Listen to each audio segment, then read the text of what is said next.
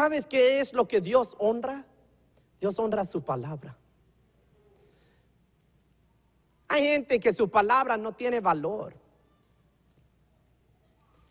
Hay gente alrededor de ti y de mí que su palabra no tiene valor. Has no value. Hay otra gente que su palabra sí ya le das un poco más valor.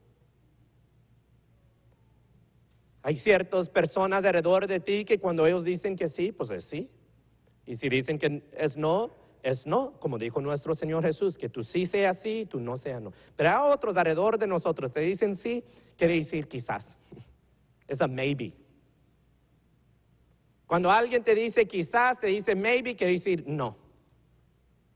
Hay gente que cuando hablan de que eh, eh, van a perder peso y, van a hacer ejercicio y, van a comer más saludable, y cuando tú oyes a alguien decir, voy a tratar esta dieta, sabes que ya fracasaron allí. There, that's a failure right there.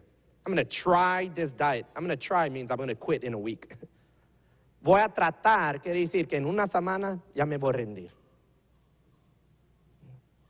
¿Sabes quién son los que agarran éxito en el ejercicio, agarran éxito en, eh, eh, en el salud? Son los que no están tratando, sino los que están haciendo. Los que sacan diplomas, doctores, abogados y etcétera, ellos no están tratando, ellos están haciendo. Los que están orando y, milagros, están, milagros están sucediendo eh, por la oración del justo, ellos no están tratando de orar, están orando es que el que eh, vemos que en su vida la ventana del cielo se está abriendo y las bendiciones de Dios se están derramando en su vida. Ellos no están tratando de dar sus diezmos, ellos están dando sus diezmos.